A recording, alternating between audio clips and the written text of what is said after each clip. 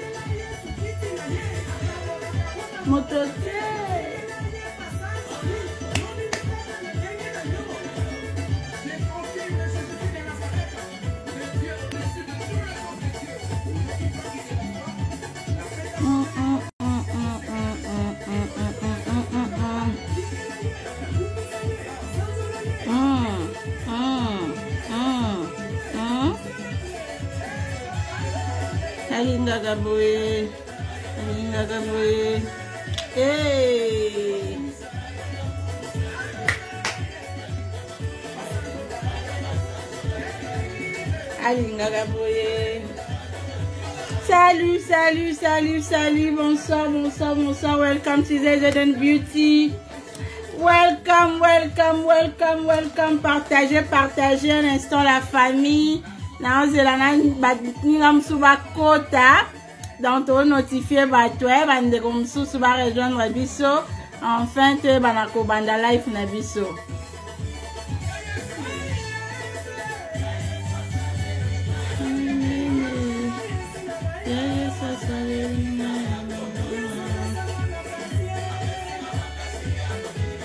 Yeah.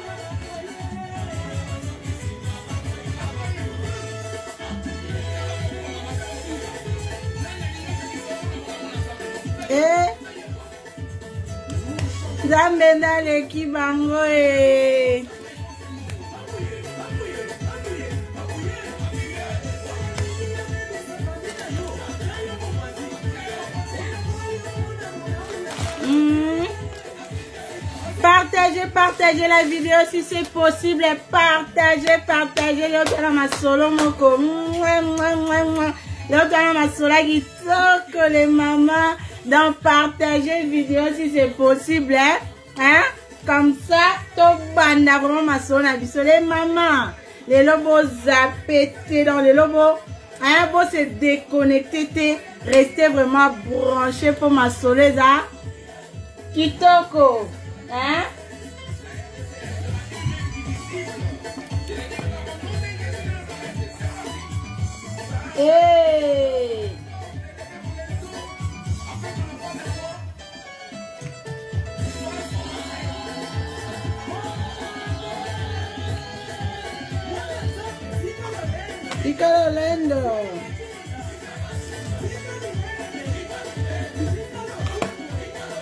mikitisako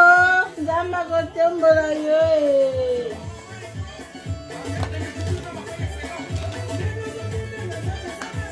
eza mabe te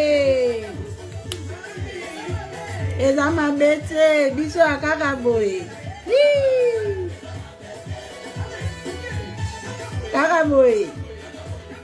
elongo na yesu hey. Eh.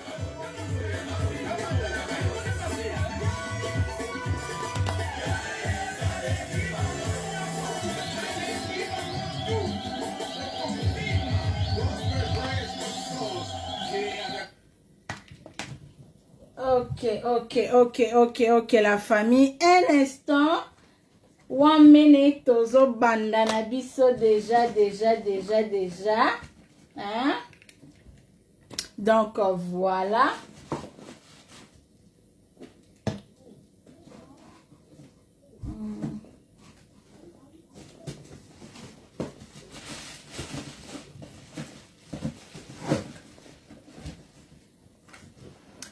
ewe ewe ewe ewe ewe les mamans toza na temps koperdre te donc euh, voilà babandaka kaka hein, donc euh, voilà quoi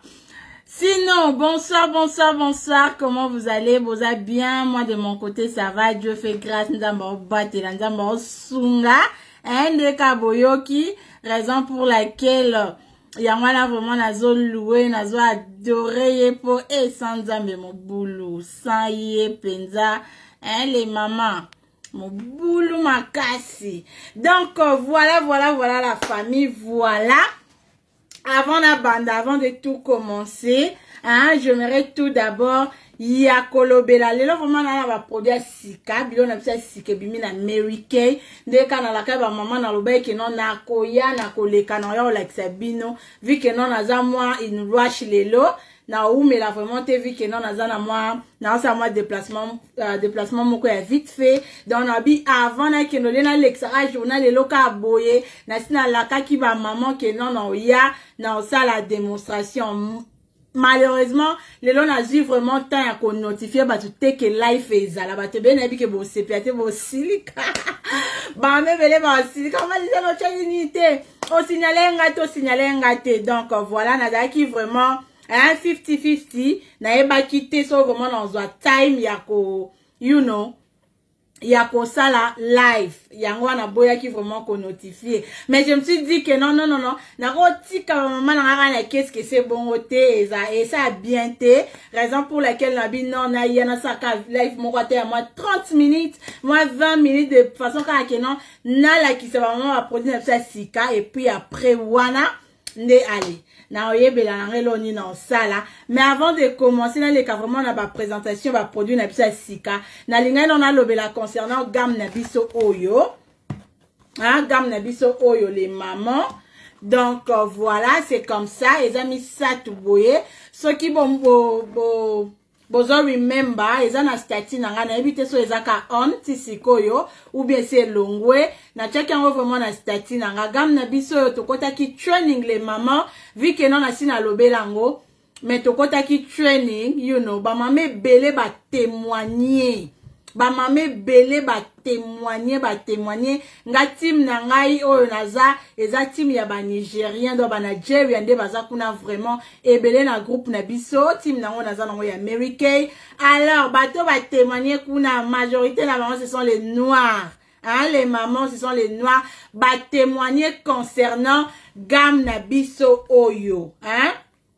concernant game na biso oyo eza satan satan euh, Yes, certain body eza set nango mobimba. Les mamans, to se concentraka na ba gommage ya elongi, to se concentraka na ba lotion ya elongi, to se concentraka kaka yeah, na ba crème peut-être ya elongi, mais to yeba pe ke gommage ya corps, hein? gommage ya nzoto mobimba mpe ezalaka existaka donc yango oyo baproduit oyo bozomona nyonso oyo 4 oyo esalemi na shea bata nde toyebi ke shea bata esalaka biso bien esalaka nzoto waw ezala oza na bavergetire ezala oza na ba you know eh, mwa batache mwa biloko mwa ezobima bimo na elongi shea bata esalaka donc canon sikoyo produit na biso oyo esalemi na shea bata yango ntango bamama na balobaki nga mokutu nasi nasalela yango bapresentation nasi nabetela yango basete na ndenge aosakana te me ntango bango balobi babi hmm, nabi tetetete naozonga fo nalobela esu produit oyo ntango natya yango na stati na ngai nazwi baapele ebele eh, mpo natyaki basa mapeka ndenge eza mwindu nakangai bafoto na se mwa bacapture na partage yango natyaki na baproduit na biso oyo alors le maman nazwi vraiment baapel ebele partage la video le mama partage partage tosunga mpe bandeko mosusu tosunga mpe bamama mosusu oyo oh, nao bayebi bamasolo te nao bayebi bamakambo te ndenge alobaka yaka na mama mona coin avandi kaka na mwa coin moko boye aza nde nao innocente ayebi na ye makambo ebele te donc tosunga biso toza wana mpo na kosunga bamama na biso donc tozala na connaissance ya baproduit oyo tosalelaka na kati ya bandako na biso c'est très important oyeba eloko nini oyo ezalaka mpo na wapi okopakola yango combien de fois par jour raison pour laquelle mama lisiane akenda na biso na wei oyo life na ngai ezalaka wana mpo na kosunga bamama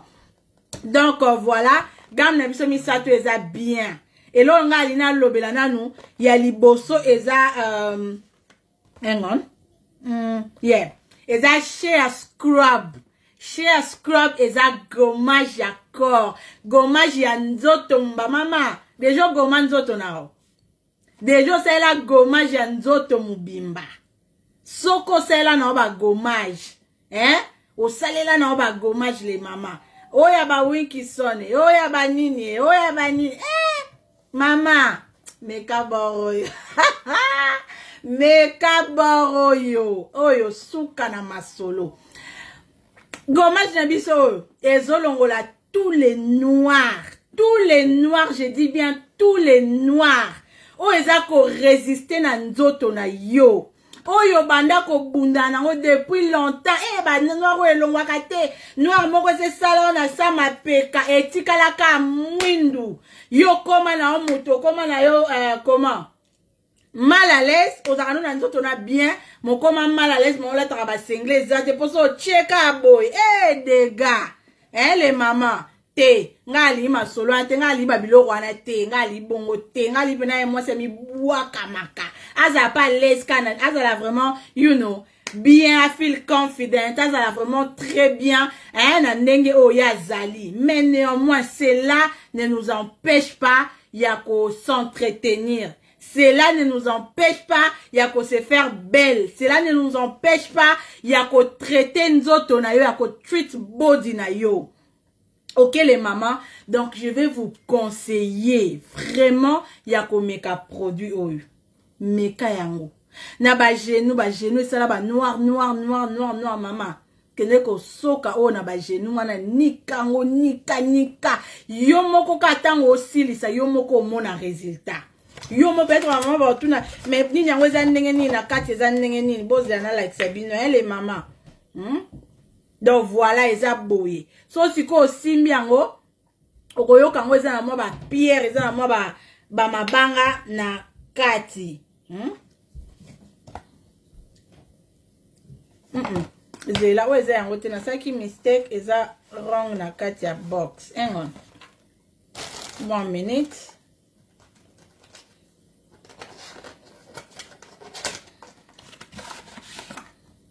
Hmm. aha voilà eh, mpo oyo nayoki yango me nayoki yango mpenza makasi te oyo mpenza bomoni eza na mabanga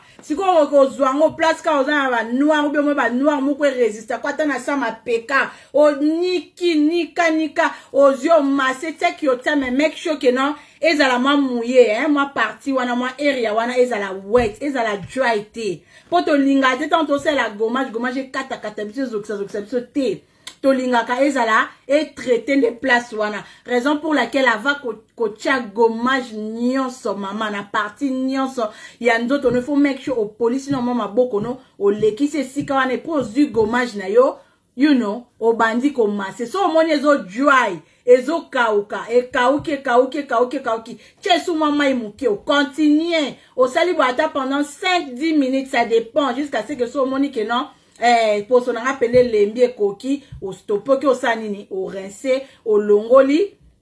gommage na yo na eau tiède le maman bomeka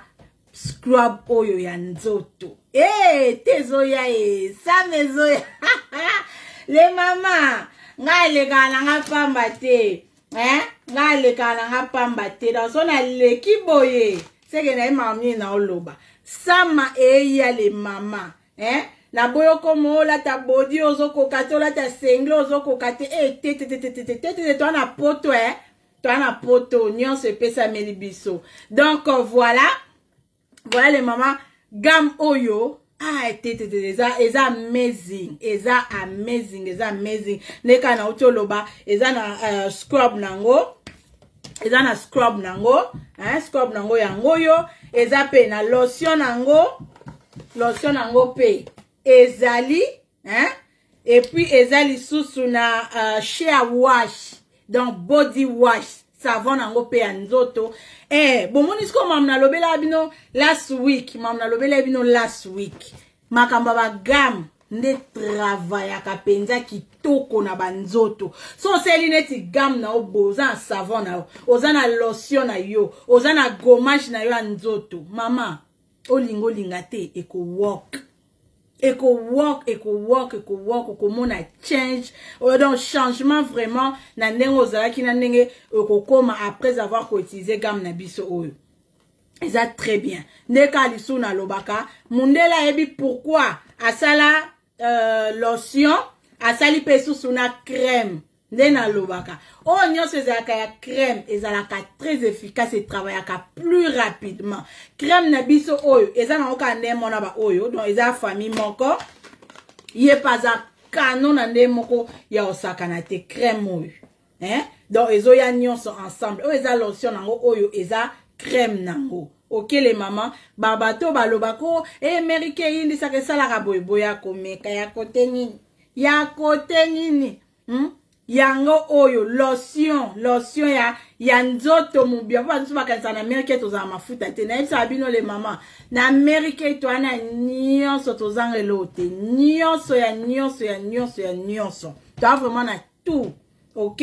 donc euh, voilà yango nde vraiment nalingai nalobela donc so vraiment ozolinga olongola bamapeka mwindu bagenu mwindu base soki soki baparti ya kingo eh, bamwindu banini salela game na biso oyo okozala jamais dessus donc euh, yango nde nalobaki vraiment nabanda nango mais bopartage partage bopartage na video mpo ngai leo na notifie na ngai bato te aya na notifie bato te mpo nazalaki vraiment 50-50 so na osala live bopartage vraiment video le maman s'il vous plaît s'il vous plaît s'il vous plaît bato bayeba ke toza deja live mpo bato ebele bayebi te baosilikela nga mama lisiane osignalaki te lelo vraimen naosala présentation ya baproduit na nga baproduit na nga te baproduit na nga nanu te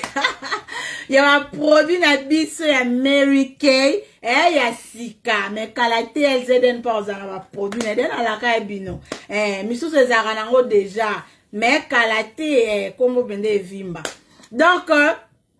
baproduit na biso ya amerikei baproduit yango amerikei eza nini toa na bapoudre na biso oyo bato bomoni yango ebele ebele ebele ebele poudre oyo eza ya sika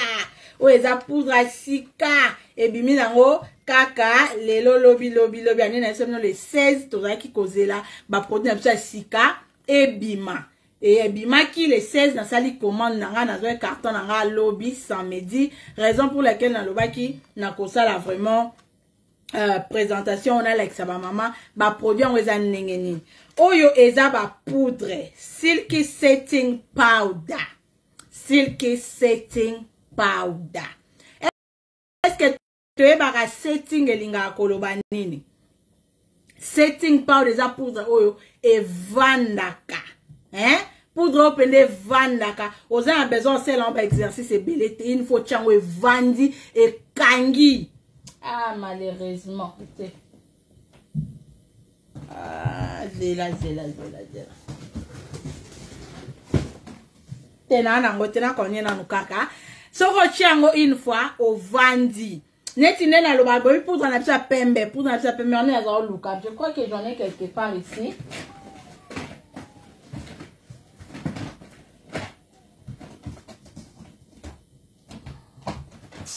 Now, now, somewhere, but I don't have time to look for it. Sorry. So, yeah. euh, une fois chango evandaka etiko elongi fresh for all day you don't need to add any powder on top oza na besoin te ke obakisaka esu bapoudre non une fois chango donc elongi no journée mobimba donc ozala alaise zala relax o oh, mafuta o oh, nini eh? donc rien rien rien rien rien poudre na biso na pembe yango mpe ezalaka setting powder okele okay, maman alors tandis que oyo mpe merike abengi yango mpe setting you know setting uh, yeah, silky setting powder donc oyo mpe il faut tya yango mbala mo mbala mo mbala moko eza kano namonaki bademonstration na yango na badirecteur na biso oyo deja bazwaki yango avant basali bademonstration na yango ebele eza vraiment bien so otye foundation na se even so osali cc cream otya yango mbala moko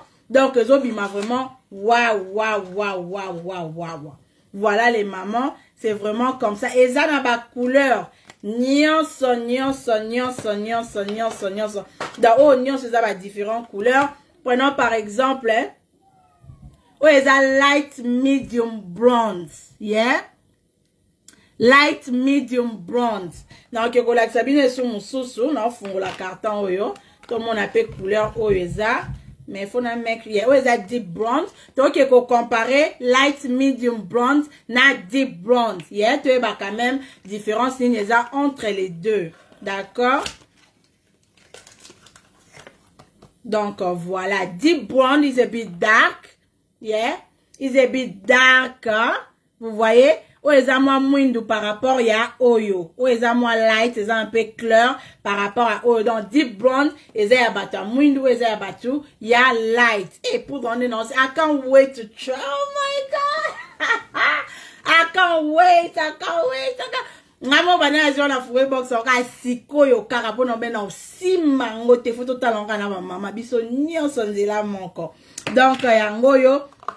ya teint clair mpe je crois je dois en avoir parce que nde nalobi naza nango vraiment ebele mais qu'est-ce que je vais dire qu'est-ce que je vais vous signaler les mamans il ne faut pas com euh, plutôt confondre yeah boconfondre oyo te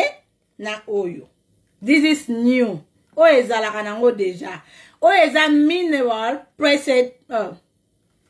hang on let me read mineral powder foundation yeah oyo eza mineral powder foundation tandis que oyo eza silky setting powder eza eloo moo te meme ata so bofungoli na kati bokoyeba po peut-être bamama mosusu ba oh kasi ngai asela yango déjà non non non non ezosemble c'est comme si eza ndenge moko mais eza ndenge moko te eza deux choses différentes oyo existaka déjà tandis que oyo eh, oyo ya mama mikolo oyo ya bora sika eh? donc euh, voilà yango bomona moi même les couleurs même sima même donc eza totally different okele maman dans so omeka oyo na osenga no mpo omeka oyo mpo eloko na eloko ya na bagu na yango eloko na eloko ya na bilengi na yango donc euh, voilà c'est comme ça naleki naoke mpe na mbangu mpo na obima na na tantele mama bolimbisa nga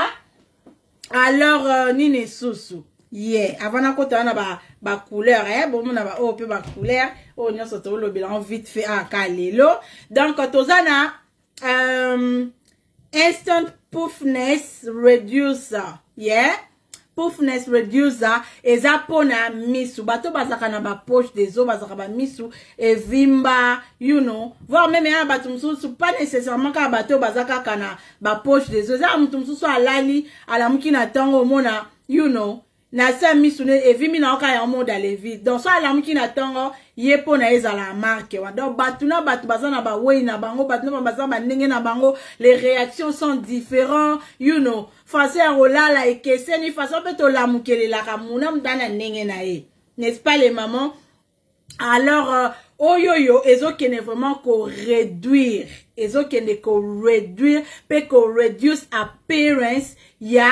poufness wana na se ya misu hein? eza soki otya yango you don't need to wait oza na besoin te ya kozela 30 45 minutes en lestant no une fois otya yango you can leave it as long as osisa kaka komasa yango mwa moke okomona deja résultat le maman naokosa bino te naza na bapreuve nde nauti oloba tout à l'heure bato oyo bazwaki yango liboso bameki yango bato basali bavideo bashare yango na groupe na biso eza makambo ya lokuta te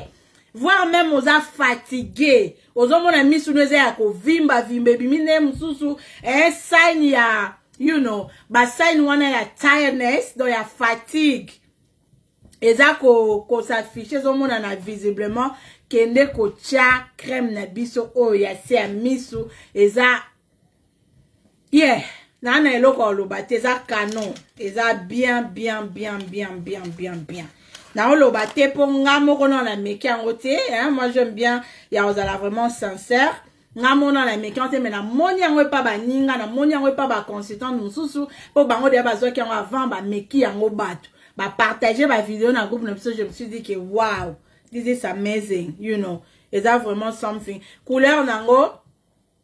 yango oyo hein? bomona couleur nango ndenge eza donc euh, euh, si je comprends bien esalemi mpe na euh,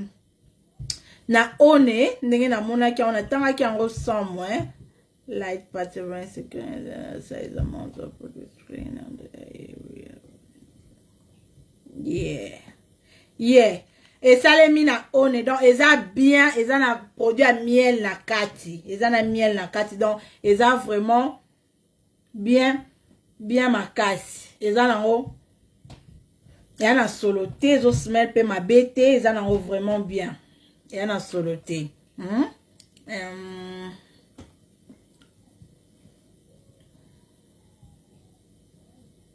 yeah donc c'est vraiment ça voilà les mamans tout ce que nakoloba na bino mais naosala nini nango naosala esai nango nga moto naomeka yango je vais quand même partager le vidéo de façon que boyeba mpe naomona nako essaye yango nga moko mpo nga mo mpena yalingaka preuve à l'appui donc voilà avant nakota na baoyo nalingaki naloba concernant baproduit na biso na explike game na biso nalobeli awa tozwaka yango mpe na mini ya mokie boye mpo na bato oyo bazoluka bameka yango you know avant basomba c'est pas gratuit oyo eza 9 livre pour tous les trois so nabosani teyaka tro eza na savon nango eza na scrub nango eza mpe na lotion nango oke la famille bolanda mikeo te me ewumelaka ewumelaka vraiment ça dépend ndenge yo ozosalela yango biso baproduit na biso ezalaka recommande ya kosalela yango ebele te mpo eza très efficace raison pour laquelle mericain abeta asete baproduit na ye eza 100 satisfaction une fois osaleli yango il faut kozala satisfait eza vraiment rare moi là personnellement il y a de ça na okende 11 ans ou 12 ans si je me trompe pas na mary kay banda na banda oteka na ekomela ngai te motai azongisela ngai eloko ke mama lisiane esali ngai mabe nasepe nango te bobe nano ezala te nano vraiment ezala te en moins ke couleur ezala rang ezala ye wana bachange ngai nini boye bien mais ke oproduit oproduit yango esali te nasepe nano ekomela ngai te nonononono 11 ans d'expérience na americain nanu nazwa problème wana te ok la famille et puis euh, yeah à part wana toza na uh, lash love panorama mascara na biso eh, mascara oyo tala biloko américain le mama bamaskara eza hmm?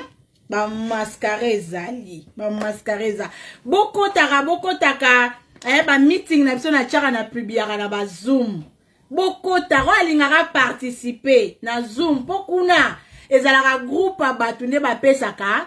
feedback bato ebele bayaka kopea feedback concernant baproduit na biso boyoka nde bato balobelaka mpo na biloko amerikei c'est à ce moment là nde bocomprendre ke baproduit oyo eh, ya bilo apampamba te eza vraiment bilo apampamba te baproduit na biso biloko na biso ya skin care nayebi te na nga mwala je sais pas na ocompare yango na brand nini na brand nini mai na biso ka oyo mai oyo nalakisaka bino oyo ya, ya huile oyo ya, ya waterproof oyo mai na biso oyo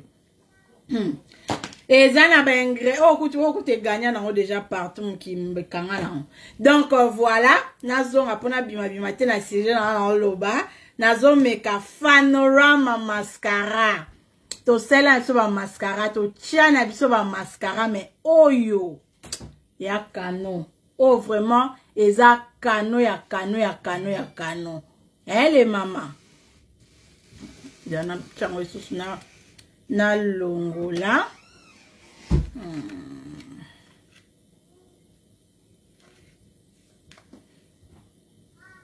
eza bien moko ezwaka mbala moko epo eza durable i don't know if it's waterproof i'm not sure i don't think nayebi te soki eza waterproof mais nako find out yango mpo na bino na olei bino no eh?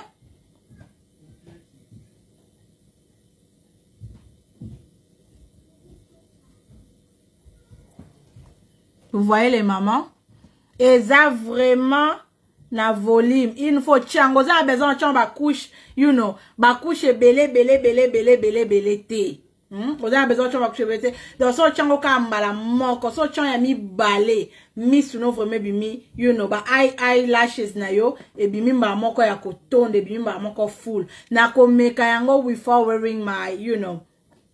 my eyelash ma yeah my eyelashes yeah les maman même na eyelashes pe ba chara mascara pona bato bayebi te otya ngo mascara esala ngo su bien lokola eh, ya yo moko naturel quoi donc euh, voilà so ozotya mascara na eyelashes linga vraiment ezwa na oyo ya yo moko ya naturel ye yeah.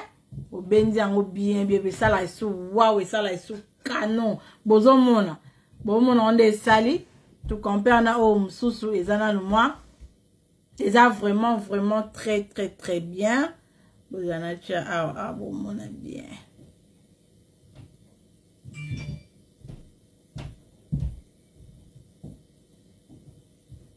nga atyaka mascara na lisu na ngai sele mama batyaka mascara na lisu asi esalaka bien makasi eh, bomona sikoyo so obakisi su deuxième couche e hey, laisse tomber hmm?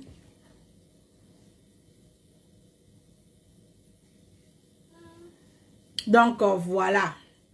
Hmm, bomona yango esali bien bimba moko ebele donc eza vraiment très très très bien là là là je vais garder ça pour moi-même et puis euh, yeah à part wana toza lisusu na toza let me read one minute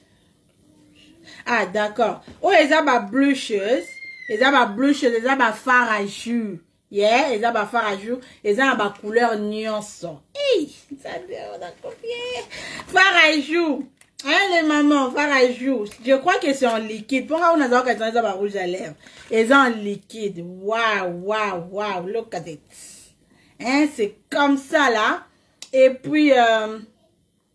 hmm. hmm. nawelika ofungaka couleur oyo ngai alingaka ela eh, ngai alingaka couleur oyo eh, bomona na manzaka na ngai j'aime bien vraiment cette couleur yango oyo nalingaka eh, soki mpe pink eza pink te mpo nde pink oyo eza pink te oyo eza berry yes si je me trompe pas eh, oyo eza simple rose donc euh, eh, aye so problème afungola ti un instant naomeka nafungola ye nafungola oyo comme j'aime bien cette couleur nafungola nalakisa biso comme ça ya nango ebele te les maman j'en ai pas vraiment beaucoup nasalaka mpo nga nameka hein, na présente yango mpe na baclient donc euh, voilà si vous en avez besoin donc n'hésitez pas bocontacte ngai hmm? bocontacte ngai bocontacte ngai voilà blue chaise oyo okoki kotya yango na matama hein, le maman tala couleur yango bien makasi neti neti neti te neti neti neti te hmm? neti neti neti te boye nde ezalaka bien mpo eza te yo bluche ozotie etikali ozomonana mpenza ebele nde bamosusu batiaka rouge mpenza rouge otie oh, kote soki orange orange te tetete mama ezala bongo te hein? donc euh, hmm. naa na miroir te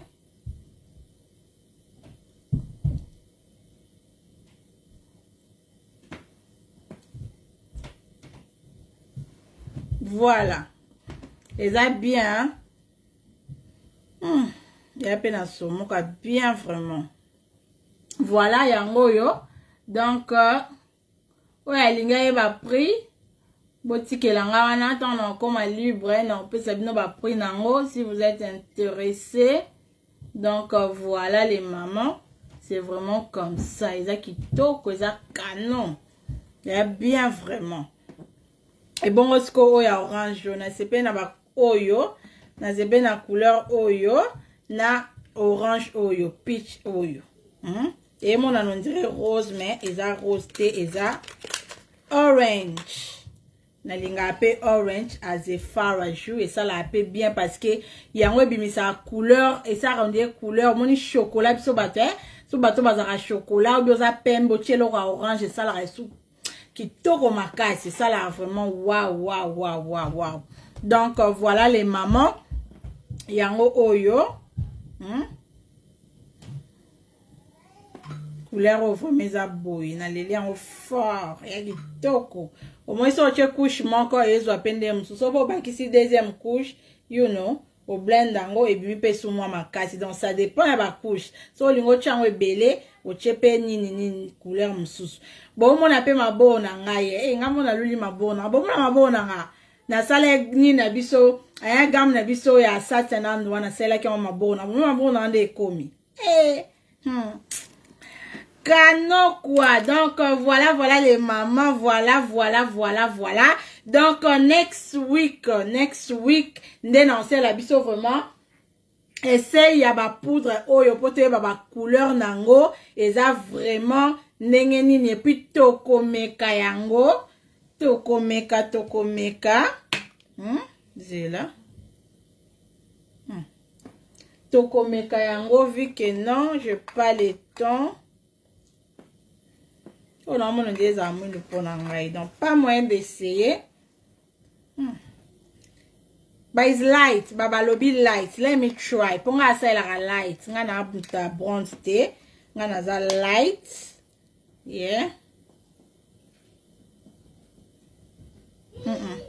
mais okosala nga mwindu this is too dark for me oyo epa na nga vraiment bondimela nga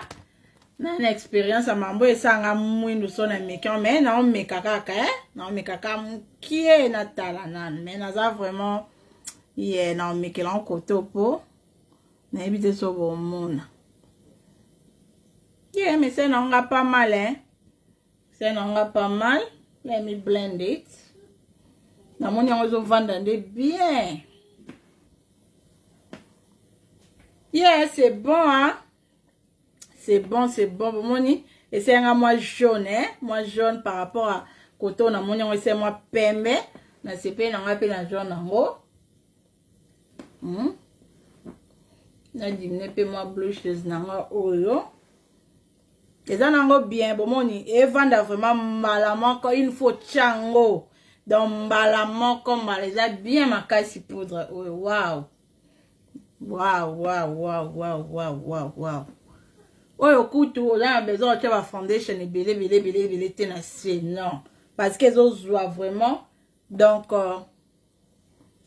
ezwa vraiment facilement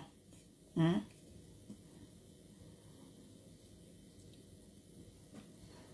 vous voyez eza bien moni nasisi yango esalinga bien nasepeli nango ezovanda mpenza don mbala moko oza na besoin otya bacouche ebele ebele ebele ebele te bomoi nde edi nabombi na mwa fara jour na nga eza you know rien à dire quoi rien à dire donc voilà Voilà, voilà, voilà, voilà vraiment les mamans. C'est tout ce que j'avais vraiment à vous présenter aujourd'hui. Zana nata son ane longu kuswa wa. Hmm?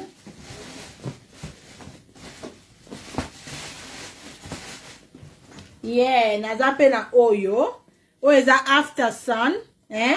after sun so outi kosexpose na moi nde toyebi ke moi ebebisaka moi eza na ba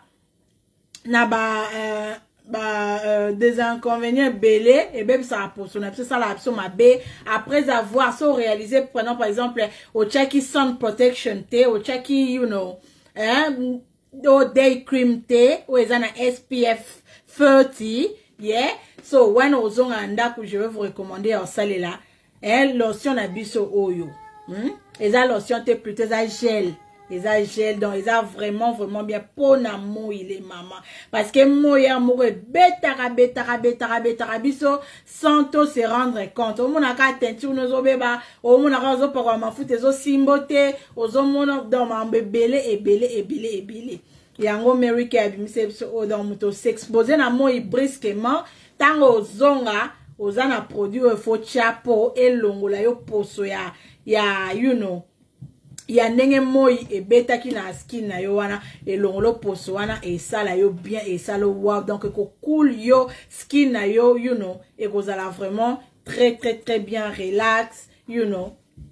détendu quoi hein soki tendu plutôt donc euh, voilà oyo oh, nyonso nazalaki vraiment ya koloba ya koshare na biso yango le mama mpona lelo vraiment nasuki na nga awa nde kaka nayesaya bino naza na nga vraiment na time mingi te donc euh, biloko vraiment nalingai na share na biso yango oyo mais next week so naza na temps na kocontinue lisusu na bacouleur mosusu mai bomoni deja ndenge ezovanda na bacouleur na biso ezozwa mbala moko mbala moko mbala epuis biloko américain nalinga yango mpo eresistaka eresistaka oyo ya bomona mpo elongo ezalaka likambo eza durable ewumelaka vraiment raison pour laquelle nasepelaka vraiment na baproduit na biso oyo ya mary kay donc voilà voilà voilà vraiment les mamans mpo na lelo tosuki na biso awa mais n'hésitez pas to partager video oyo mpo to notifie mpe baninga bandeko mosusu eh, la famille donc euh, voilà mpo na lelo tosuki wana merci na bato oyo nyonso baparticipaki hein? welcome welcome to zeden beauty